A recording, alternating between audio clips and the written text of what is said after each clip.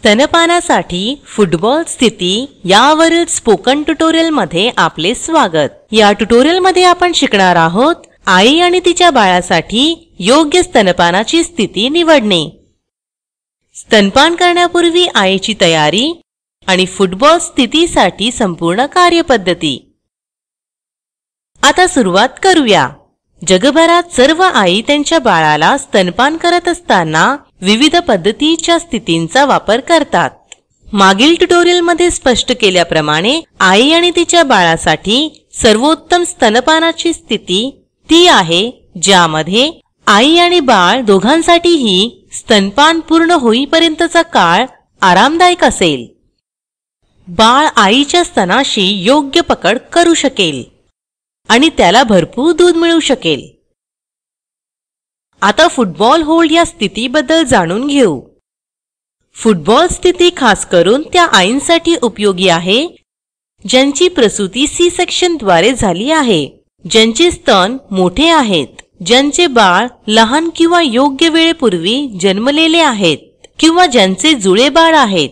नेहमी लक्षात ठेवा आईने तिच्या बाळाला स्तनपान करण्यापूर्वी स्वतःचे हात स्वच्छ धुवून सुकवून घ्यावेत. मग आईने एक ग्लास उकळून थंड केलेले पाणी प्यावे.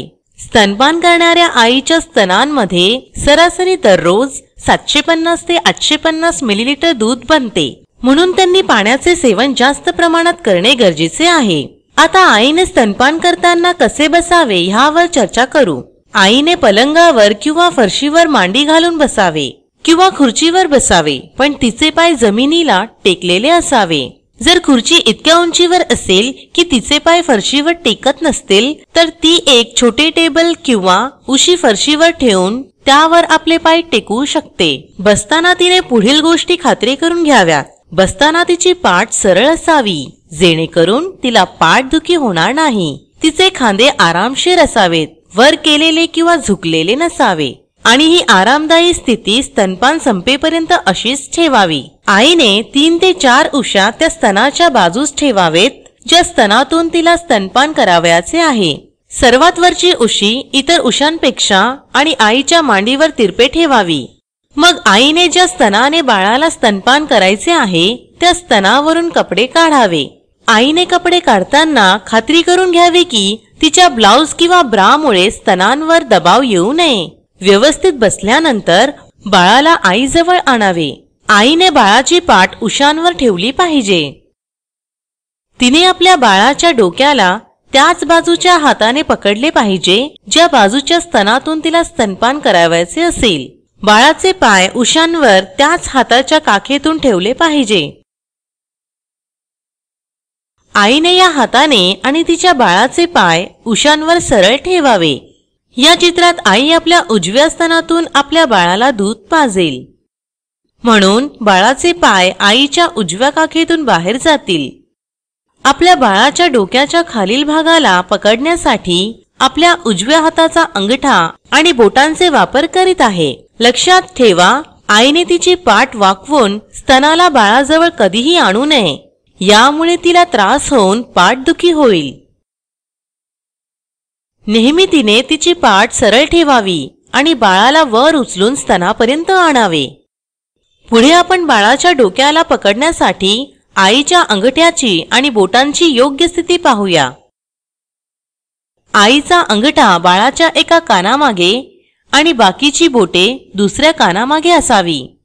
तिने तिची बोटे व अंगठा बाळाच्या कानामागून हलवून मानेपर्यंत आणू नये. तिची मनगट बाळाच्या खांद्यांमध्ये असावी. आईने बाळाच्या डोक्याच्या मागच्या बाजूस हाताने दाबू नये. यामुळे स्तनपान करताना बाळाला आरामदायी वाटणार नाही. पुढे आपण शिकू बाळाच्या शरीराला ठेवण्याची योग्य स्थिती. बाळाचा चेहरा आईच्या चेहऱ्यासमोर असला पाहिजे. आईच्या शरीरावर बाळाच्या पोटामुळे थोडासा दबाव पडला पाहिजे. जेवढे त्या दोघांच्या शरीरातील अंतर कमी असेल तेवढे बाळाचे आईच्या स्तनापर्यंत जाण्याचे कष्ट कमी होतील आणि बाळाला आईच्या स्तनाशी पकड घट्ट करण्यास सोपे जाईल. बाळाला ठेवण्याच्या स्थितीमध्ये दुसरा मुद्दा आहे बाळाच्या शरीराची संरेखना. जेव्हा आपण अन्न खातो आपलं डोकं मान आणि शरीर एका सरळ रेषेत असते. त्याचप्रमाणे स्तनपान करताना बाळाचं डोकं मान आणि शरीर नेहमी एका सरळ रेषेत असावे. यामुळे बाळाला दूध पिणे सोपे जाईल. आता आपण बाळाला ठेवण्याच्या स्थितीमध्ये तिसऱ्या मुद्द्यावर आलो आहोत. आईने बाळाच्या पूर्ण शरीराला आधार द्यावा. नाहीतर बाळाला आईच्या स्तनाशी पकड घट्ट करण्यास खूप मेहनत घ्यावी लागेल. पुढे आपण बाळाचे नाक आणि हनुवटीची स्थिती पाहू. बाळाचे नाक आणि आईचे निप्पल एका रेषेत असावेत. आणि हनुवटी पुढच्या बाजूस आणि स्तनांच्या खूप जवळ असावी. यामुळे बाळ स्तनांशी पकड करत असताना ॲरिओलाचा खालचा भाग जास्त तोंडात घेईल आणि म्हणून बाळ दूध पिण्यासाठी खालच्या जबड्याचा वापर करेल. कृपया लक्षात घ्या ॲरिओला हा निप्पल भोवतीचा गडद भाग आहे. आता बाळाला योग्य स्थितीत ठेवल्यानंतर चला आपण शिकूया स्तनाला कसे पकडावे. दुसऱ्या हाताच्या बोटांचा वापर करून आईने स्वतःच्या स्तनाला खालून सी आकारात पकडावे. या चित्रामध्ये आई तिच्या डाव्या हाताने उजवे स्तन पकडेल. अंगठा आणि बोटांची योग्य स्थिती समजून घेण्यासाठी कल्पना करा की आईच्या उजव्या स्तनावर एक घड्याळ आहे ज्याच्या मध्यभागी निप्पल आहे. आईने तिचा डावा अंगठा या घड्याळ्यावरील बारा या अंकावर ठेवावा आणि अंगठ्याच्या बाजूची दोन बोटे सहा या अंकावर ठेवावीत. आईची बोटे नेहमी बाळाच्या ओठांच्या दिशेने असावेत. असे का हे समजून घेण्यासाठी आपण एक सोपे उदाहरण पाहूया. जेव्हा आपण वडापाव किंवा बर्गर खातो आपण आपले ओठ आडवे उघडतो. आपण वडापाव किंवा बर्गर आडवे पकडतो जेणेकरून आपण मोठा घास घेऊ शकू. इथे आपली बोटे आणि ओठ एकाच दिशेत आहेत. जर आपण वडापाव किंवा बर्गर लंबकार पकडले तर आपण मोठा घास घेऊ शकणार नाही. तसेच इथे आपण बाळाच्या ओठांच्या दिशेकडे पाहूयात. इथे त्याचे ओठ आडवे उघडलेले आहे. म्हणून आईची बोटे आणि अंगठा स्तनावर आडवे ठेवणे गरजेचे आहे. यामुळे बाळाला एरिओलाचा मोठा भाग तोंडात घेण्यास मदत मिळेल. बाळाच्या ओठांच्या दिशेला असण्यासोबत आईचा अंगठा आणि बोटे नेहमी निप्पलपासून तीन बोटे अंतरावर असावी. पुन्हा वडापाव किंवा बर्गर खाताना आपण खूप जवळ पकडले तर बोटांचा अडथळा येऊन आपण मोठा घास घेऊ शकणार नाही. आणि जर आपण खूप दूर पकडले तर त्याचा आकार आपल्या तोंडात जाण्यासाठी अयोग्य असेल.